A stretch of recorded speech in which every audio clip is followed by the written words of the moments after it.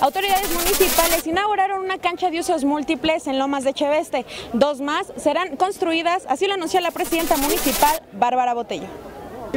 La cancha que hoy entregamos está equipada para la práctica de disciplinas como el básquetbol, voleibol, futbolito y badminton.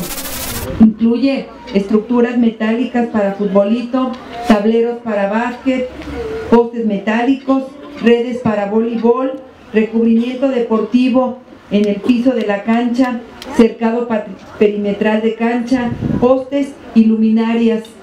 Con ello beneficiaremos a 12.382 personas que desde hoy tienen un nuevo punto de reunión para hacer deporte y para convivir sanamente.